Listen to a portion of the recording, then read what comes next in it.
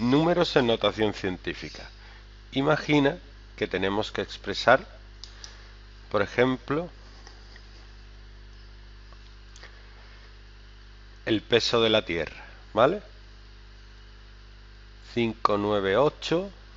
1, 2, 3, 4, 5, 6, 7, 8, 9, 10, 11, 12, 13, 14, 15, 16, 17, 18, 19, 20, 21, 22, 23 y 24.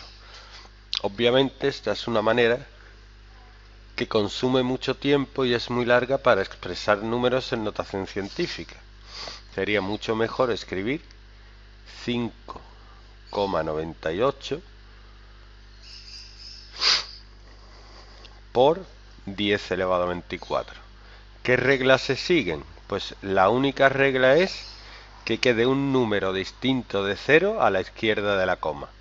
Por tanto, tendría que correr la coma, que está aquí, hasta aquí. ¿Mm? Y como he corrido la coma 24 veces, pongo por 10 elevado a 24, que es un 1 seguido de 24 ceros. Al multiplicar 5,98 por un 1 seguido de 24 ceros, me queda la masa de la Tierra, que es 5,98 por 10 elevado a 24 kilogramos. Lo mismo pasa con el tamaño de una bacteria. Imaginemos una bacteria que puede ser del orden de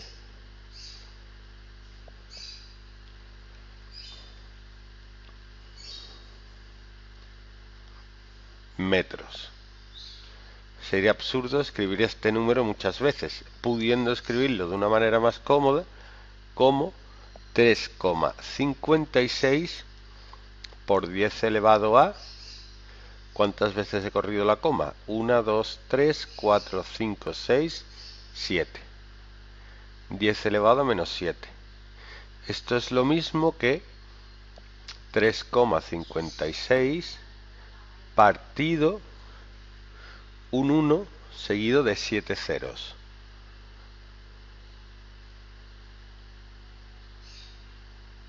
¿Vale?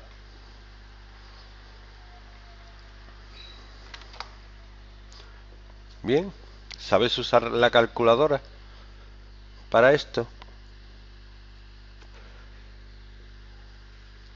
De todos modos, por si las moscas, vamos a aprender a multiplicar dividir, sumar y restar números en notación científica. Si tuviéramos que multiplicar 5,31 por 10 elevado a 12 con 2,15 por 10 elevado a 8, se multiplican los números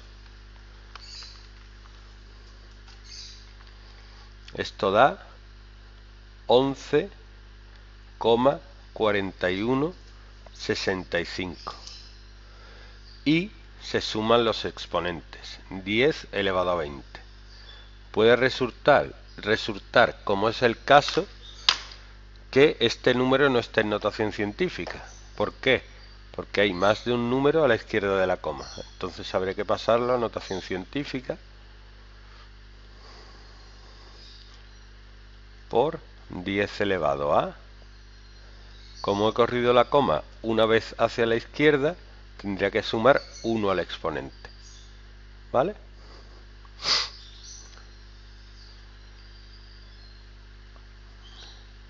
Para dividir, por ejemplo, 5,31 por 10 elevado a 12 con 2,15 por 10 elevado a 8, divido los números,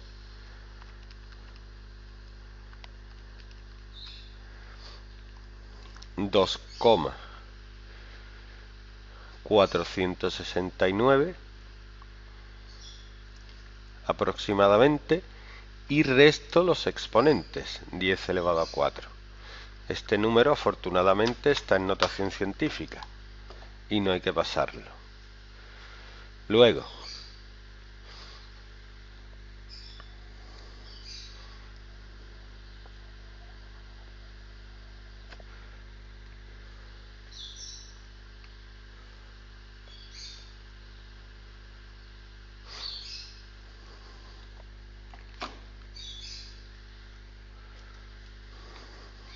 sumar y restar. Por ejemplo, 2,31 por 10 elevado a 6 más 3,15 por 10 elevado a 5. Estos números se pueden sumar o restar si tienen el mismo exponente. Como no lo tienen, lo tenemos que pasar al mayor. Entonces, podría escribir 2,31 por 10 elevado a 6 más 0,315 por 10 elevado a 6. Si sumo 1 en el exponente, tengo que recorrer la coma una vez hacia la izquierda. Esto es multiplicar por 10, sumar 1 al exponente y correr la coma hacia la izquierda es dividir entre 10, por tanto me queda el mismo número. Y ahora que tienen el mismo exponente, puedo sumarlos. Y me queda